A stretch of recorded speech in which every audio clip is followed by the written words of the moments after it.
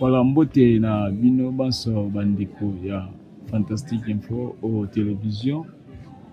et totunisami lisusu na esengo ya komona bino ya koyoka biso lisusu na mokolo ya lelo oyo wapi tosi na kotya matambe na village oyo wapi tosi na kozala ezali bongo euh, moko ya bagrand village oyo wapi ya commune ya maluku eh, oyo wapi ebimisaka babiloko moko ya production ya malunga na oyo etali bongo kotie agricole oyo elesaka moko ya centre ville ya kinshasa ya, ya, ya, ya, ya, ya population ya kinshasa parce que yango moko mpe toza na kati ya ville paroisse ya kinshasa mais ezali ezali bakote oyo moko ya bavillage oyo wapi ezwami bongo na komi ya maluku oyo wapi production kotia likole vraiment esalamaka mingi makasi ya mbote tokota ba bandunduville ya mbote tokota ba congo central ye azali wana mpona baintervention ezali kasi mpasi mpe mawa tozoloba ete e, toyokaki badege esalamaki na bane 2023 ya bamilice oyo babengi na nkombo ya bamobondo oyo baregnaki e, na kati ya village oyo me kasi lelo likambo kokamwa tomoni lisusu population na kati ya village oyo yango wana tolingi totuna ete na ba bavandi ya kati ya village oyo kolakisa koyebisa biso verité si réellement kema kimia vraimen ekota kati ya mabele oyo na mboka ya kimpeti oyo tosili na kozwama oswat mwa banungunungu etikali bazovanda kaka na insécurité kotalisa biso mpe lisusu na oyo etali bongo kotia Superficie ya mboka oyo ezali bongo na monene ya, ya combien de kilomètres en fait oyo etali bongo kote ya population oyo bavivaka na kati ya mboka oyo bavivaka ndenge nini oyo etali bongo kote ya baekole baekole eza disponible na kati ya ma village oyo oyo badebuyaka na kokende na makadame kino na habitant oyo wapi na nzela ya boulevard central oyo wapi eh, bato nyonso baza na koleka presque population mwa mingi mpe evandi kuna mbote papa mm, mbote ndeko kombo nani papa na biso kombo na ngai kwambesa shama navandi na mboka kitoko papa pambesa shama kwambesa shama ovandi na mboka kimpeti oui. meka otalisa bandeko ya fantastique info ti bazolanda yo en direct na mboka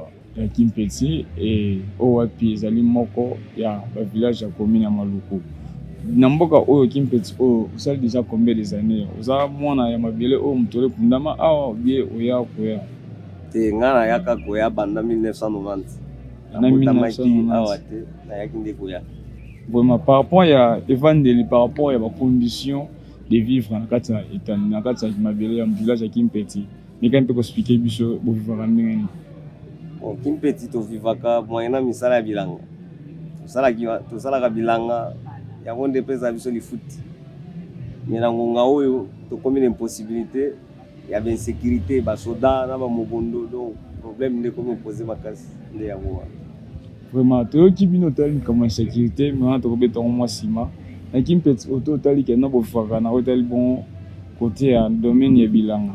Mais ya kotalisa ba ndika fantastique info TV. Est-ce que na Kimpeti awa bozaka pe na possibilité ya kobimisa ba 10 tonnes ya fufu ou bien mwa ba 5 tonnes ya ya ya bamba ya nguba ou bien ya maïs pe na kati ya mboka oyo. Bon, biso awa mosala mpena nde tosalaka yango wana tobimisaka koleka kutu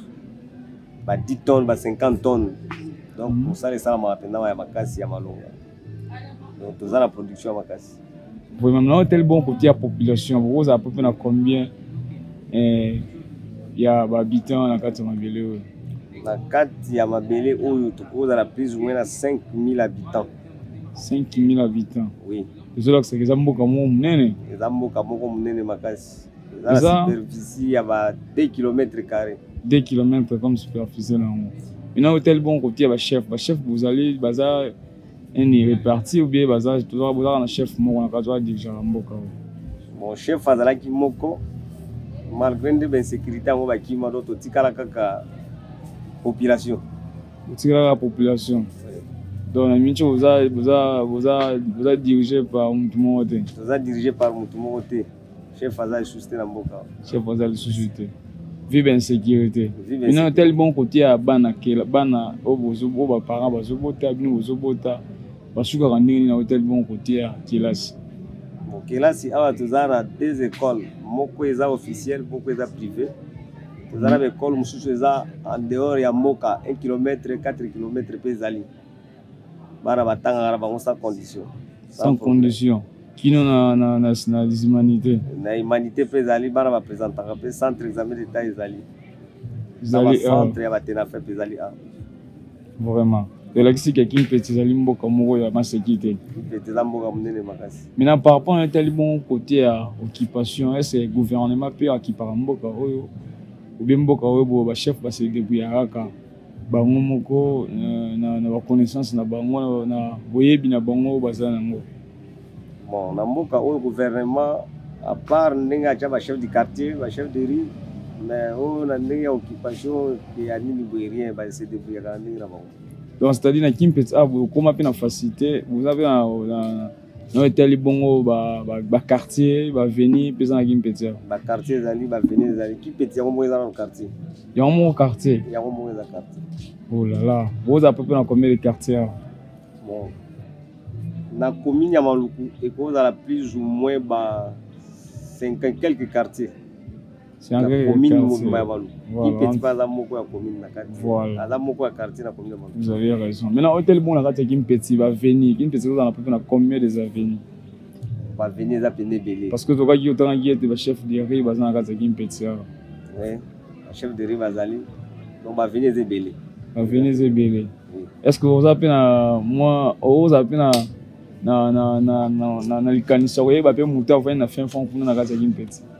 namonaki peti na nombre des années nasali awa hmm. nayebi bato presque mo ebele bato pene ebele bato ebele vraiment maintenant oyo teli bon côté ya ya sécurité bovivaka ndenge nini bozalaki boza na poste ya la police awa obie poste ezali te eye koya kaka na moment oyo ya sécurité koti na kati ya kimabele Bon, poste ya la police ezalaki awa na mboka bien insécurité nde poste ya la police elongwa totikala nde na ba FARDC donc nyonso ekoma kodépendre na FARDC nyonso ekoma kodépendre na FARDC vraiment maintenant beta mwa lisolo mwa moke na oyo etali bongo kote ya ba milice ya mobondo toni totuna motuna eh, histoire yango nde bovivaki yango ebandaki ndenge nini mpe lelo bomoto mwa lisusu bino bosina kozonga lisusu na kati ya mabele na bino oyo bankoko batikela bino bon biso awa vraiment totikali kovivre milice mobondo te mobondo euti mosika nde bato babandaki koleka awa oyo bazokima mobondo kote bandelaki eye ti ya zero mètre na biso me biso totikali komona mobondo te na miso na biso boye malgré kokima na mopepe nde bando oya me awa vraiment toza sans problème mais quand même boyokaki bason ya baboya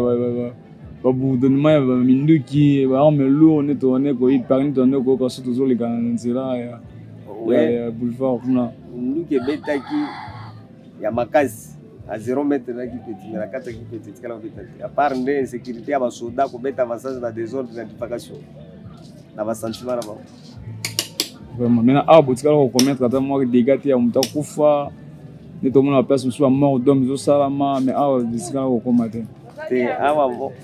awa mort d'homme esalamaki basoda babomaka mingi bachauffeur ya moto mpo babotola bamoto bakende kaka na nzela na biso na levidi kaka boye na levidi mpo babotoli kaka moto bakende na mais aza ni mobondo te aza mobondo te aza chauffeur kaka ya moto montare vraiment maintenant soki nango tali bon kote ya baferme bandeko boyebi basomba baferme na kati ya kimpeti ozala ntour ya kimpeti awa basuka ndenge nini baferme babotola obe baferme na bango eza nango kaka eh, eza nango kaka nini batikelaki yango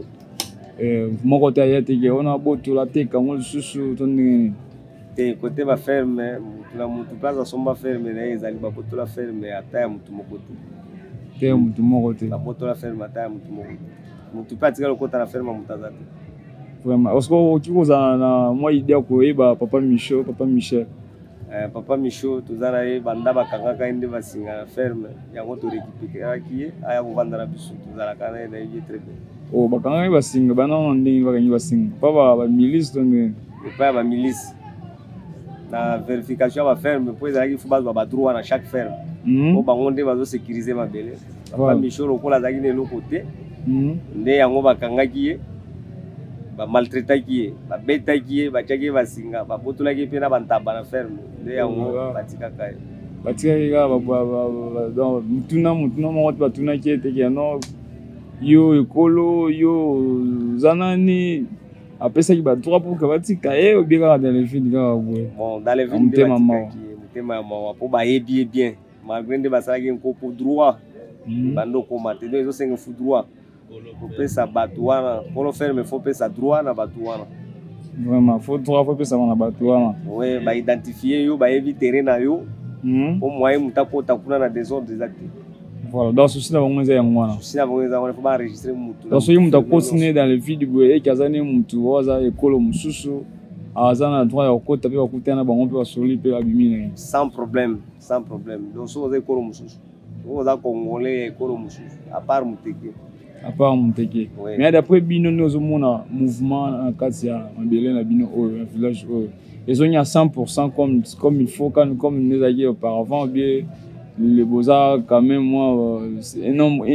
moi nombre moi eza eza eza éparpillé nano ezongi vraiment te bon nombre vraiment eza diminue na nombre tozalelaki bato ebele bakima bakenda ba centre ville bamisu babima bamboka prince mwa ndambo tozo persevere nde biso nde tozo vanda moke awa vraiment voilà bandeko fantastique info tv eh, ezosala eh, mpasi mpe eh, mawa na kati ya mitema na biso ya mitema na bino oyo wapi bozali bongo ba moko ya baacheteur na kati ya aux alentours ya kimpeti oyo bosomba mabele na bino me kasi oyo etali bongo likambo insécurité jusque là ezosila kaka te mais komi déjà kosila je crois cette année eh, mabe ekozala vraiment te cette année vraiment nde tozomonela kimia ekoyebana kokota tosengi na bino bolemba te eh, soki oyebi kena osaki gardien eke gardien azotala lisusu etando na yo te yeba kena aza mutu abotami mpe na famille eh, aza mpe na bandeko aza mpe na bana atiki yango pour parce que ayeba na komibatela parce que lobi soki ya perde ya ye bomoi bana bakoluka ete batelengana mama kotukaki atikala veve ekosala mingi ekosala mingi mpasi na motema yango lelo tolukaki ete tomeka kozwa mwa information na etali bongo village oyo tolukaki ete bamoto ezokota te bato bazokota te mituka ekota te ebimisaka biloko ezali village moko ya maseki te tokaka esafu ebimaka kwanga ebimaka savose ebimaka babengi bongo avokati ebimaka il paraît mpe tokaka so bambala mpe na mboka oyo ebimaka makasi ah, nyonso ebimaka makasi donc nyonso ebimaka makasi me otali bongo likambo ya bokote ya bopito ese boza mpe na bacentre oyo wapi bomekaka kozwa soin na bino kazo bozwi maboto boza tombe maladi bon awa ah, toza na deux centre de santé moko ya mwa minene moko ya bamasera bon berger mm. moko ya centre kimbangiste mais baposte de secours awa mpe na kati ya mboka eza nango mwa mingi à part mm. deux centre wana part deux centre wana bofutaka mpe na baprix moko eh, oyo eza eza mwa favorable oui tofuta baprix eza favorable vraiment merci beaucoup balandi ya fantastique info au télévision je crois papa azali ye moko te tokozwa bandeko mosusu awa mbote papa nkombo nani papa na biso papa patrick tomoni yo awa oza mwana ya mabele oyo bie oza mopaya na kati ya mabele oyo bon tout d'abord congolais azalaka mopaya te malgré origine eza yango te mais toza bacongolais bakino toluka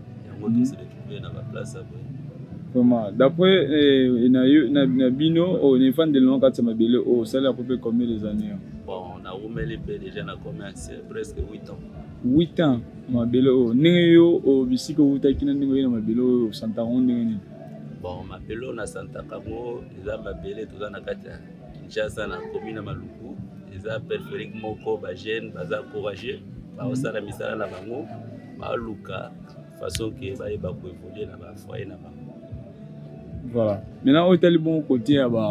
baservice neti bino boza mingi base na domaine nini na kati ya village oyo bon biso toza toza bapaysan ba tosala mingi agriculture elanga tovivre na champ bilanga yango euh, par rapport à culture production nini vraiment oyo préféra mingi na kosala bon biso toza na toza na production févrière tosalaka ba poivron tosalaka ba pastèque tosalaka nguba tosalaka vraiment ba patate masango c'est dépend ya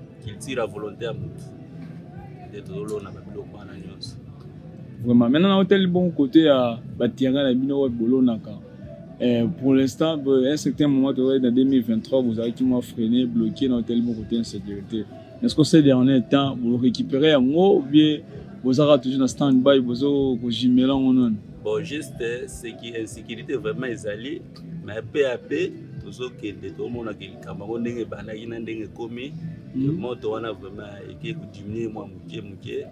tozosedemene donc tozosala bato bakoma kosala misala mpe na réserve alinga su te kobimisa mwa fond ebele mpo asala plusieurs hectare par rapport à insécurité peut-être lelo tolamuki bien lobi toyebi te nini ekokokoma mais misala ezosalamaka na baréserve esalama lisusu mpena mingi te ezosalama mingi vraimen te donc d'après bino eh, ezosala bino ndenge nini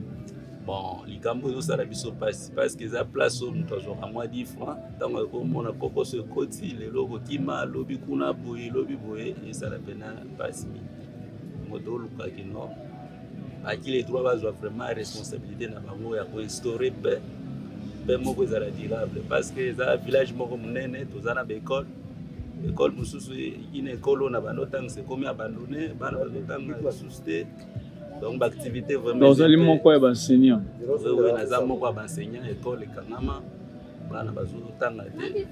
ekole privé moko eza kote eganante bana bazotanga te vie insécurité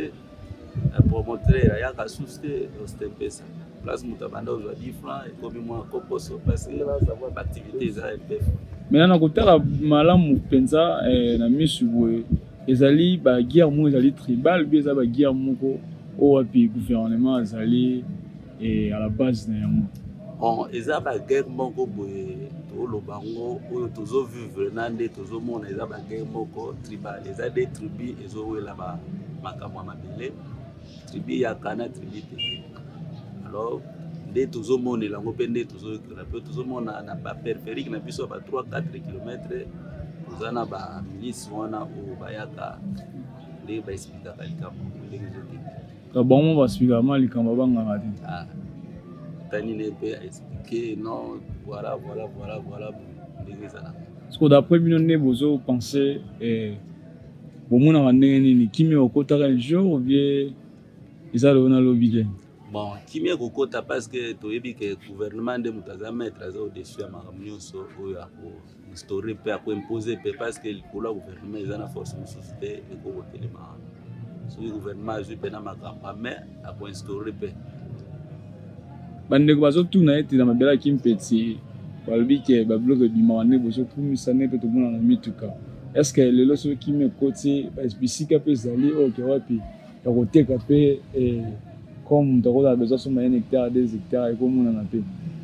bon juste mpona kosomba mabele likambo ya mabele wana nde yango mpenza mwa mobulu ekotaki jusque là toyebi kaka ke leta nde moto azwi bamakambo nyonso ame oyo akokoteka pour le moment eza na motu te oyo azoteka mabele parce que bandeko bazalaki awa lokola bakolo mabele mpenza baza mpenza mpenza lisusu te jusque là mabele eza na na compétence eza na motu te aza na kalite ya kokoteka mabele to akosala likambo moko po mais apart kaka bapaysan oyo baza awa akosala mwa bilanga na ye mopanzi mpo afaire vivre libota me nakotambola bien nakokotanaka mabele ya kimpeti tomoni na nzela mwa bakokoso mwa badifficulté ekomi kokota yango etali bongo likambo ya nzela d'après bino bopansaka nini na yango bon mpo na kopense likambo ya nzela ezaka makambo ya nzela eza moto akotala makambo ya nzela eza leta leta nde moto akozwa euh, organisation moko boye soit bato bakobongisa nzela soit akokotisa baengin mpo etravaille nzela parce que eza banzela moko eza badeserte agricole tozomona makala ezobima tozomona mituka ezokota bana moto bazokota marchandise ebimaka erenforcaka centre ville mpona kolesa libamabota eza kuna parce que eza coin moko etindikaka vraiment biloko ebele na marché ya liberté ah, lelo tozomona bacrise ekoti biloko ya kolia ekomi mpasi masango fufu eza coin moko ebimisaka badesert agricole maintenant obengi yango ete ezali nzela moko eza desert oyo wapi ezoaide population eh, oyo wapi ezoaide eh, bandeko oyo wapi bazofanda na mikili ya bapaya mboka mindele parce que tomonaka mpe ozwi mbala otransforme yango otya yango kolio ya mbala yango boseni eke mikili tozomona mpe so basafutie ndenge moko neti nga deyanamana tokobuka bapondu awa etokokende na mboka france pour que bandeko bameka mpe kogoute yango maintenant d'après bino tomonaka d'après bino nazotuna ete nazoluka ete natalisa bino namonaka ete baparti mosusu bavillage mosusu ya mbote bazela leta eke babike na mboka na bango bavivaka na domaine ya agriculture ya mbote bazela leta pour que lelo motuka ekota malamu ezwa mpe biloko ebima malamu bango moko baseformika bakomaka base deforma bakomaka na sous forme ya bato babenga bango bacantonien pour que babongisa nzela pourquoi pas bino na kozwa idée wana elo bozela leta gouvernement aya na bacantonien aya na bacantonien na bango aya na baengin pour que babongisela bino nzela ekoma kitoko bon juste eza par rapport organisation lokola eza ke quartier bafois passé lorsque mama na biso madame du quartier azalaki tomonaki quand même na cadre ya kin bopeto mwa ba quelque pau ekotaki na mwa banini esengaka motu moko afournir fournir mwa bainstrument bakongo bapau azwi mwa quelque kiri bakoki kosala misala wana bavolontaire bazalaka na bango oyo bakotravaille misala na mai ezo dépendre na moyen mpona kosomba ba équipement babiloko wana botillage ya kosala misala par rapport organisation mpe ya quartier eza makambo moko eza na compétence ya quartier moto nde akoki koorganize basalongo na banzela na makambo wana mpo na kobongisa mpene ovike sécurité chef du quartier ya deplace la mboko ekoma siat efonctionnaka susu te mhm. bureau du quartier efonctionnaka susu te etikalaka ka fardc moto aza wana mais akoma kooblige salongo ekende kaka esika ka na bango ezali bosaleli bango mwa bandako na bango bosaleli basalongo kaka place fardesada vraiment na oyo etali bongo sikoyo likambo ya réseau bandeko ozotuna aske awa ah, mpe moyen de communication boza na facilité ya ko communiquer bandeko baza libanda obe boza une partie mona coin moko bokendaka uniquement mpona kozwa réseau bon bata elekaki tozalaki vraiment connecté réseau ezalaki mais pour le moment toza na perturbation ya réseau réseau ekomi kaka efo kende mwa quelque part juste côté fardc aza na école na biso kuna epe mungwa hmm. epona koyeba kozwa réseau réseau eza mwa ndambo kitoko kaka airtel hmm. vodacom eza na perturbation makasi bareseau eza vraiment bareseau eza yango Mais na dernier mot na bino ezali nini ya boki tokultire biso na biso moko ya lelo bon dernier mot na biso tosenga kaka autorité autorité na biso hiérarchie na biso gouvernement bayeba kozwa vraiment à la hate parce que toyebi ete toyoki ete mokonzi ya mboka eh, etikali mikolo ya kotanga aprete serment na ye eh, alakisa biso mpe bilan nini ya kotravaille mais na propagande eye mokonzi ya mboka atalaki eh,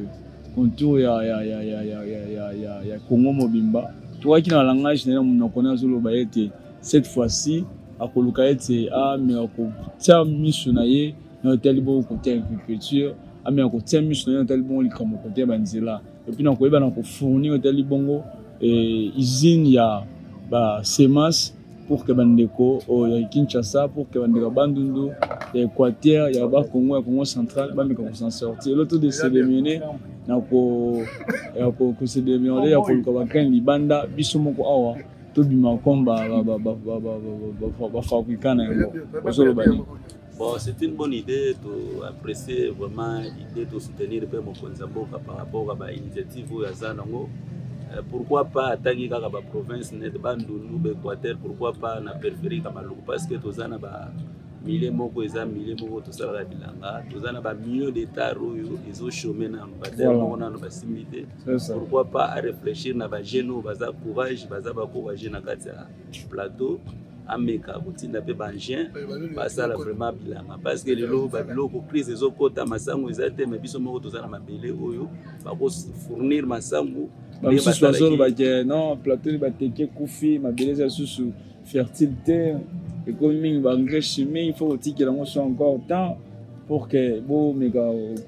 kozonga lisusu ndenge ezalaki kama non mabele na biso eza mabele moko eza très riche D'ailleurs, pour votre information, toza na ferme ya Mobutu à 4 km. bafourniraki ma basangu oyo etekamaki na marché ya liberté badepo ezalaki ya kofungwama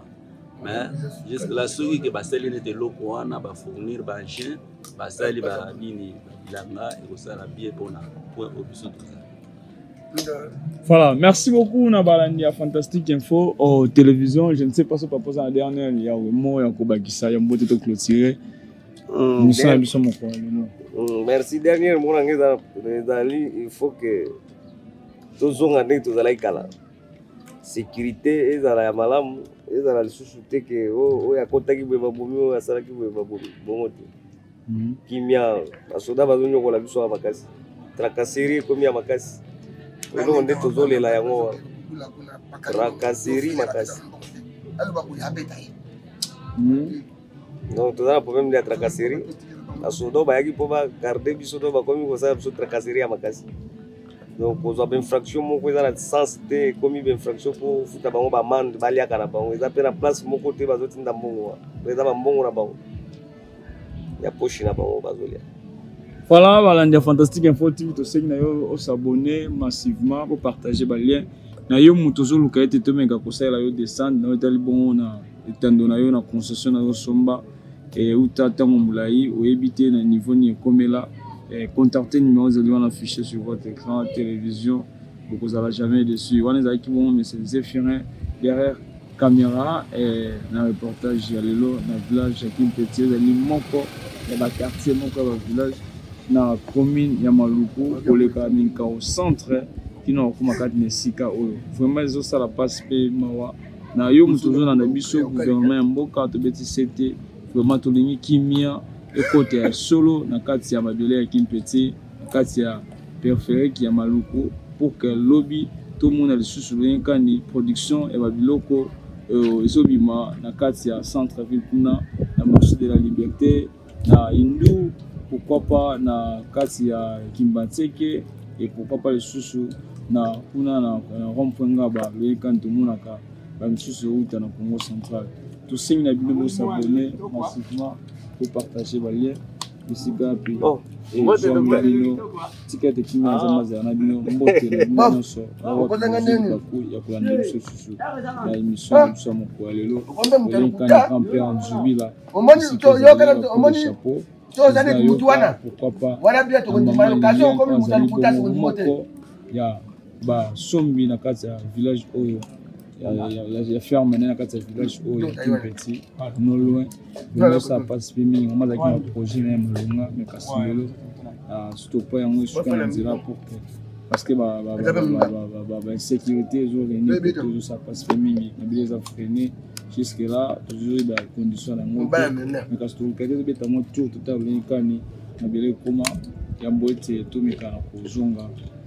na etando na biso epai wapi ezwamaka biso tika ete nzambe abatela bino na bomba biso lisusu tokutani na mikolo ezali koya bai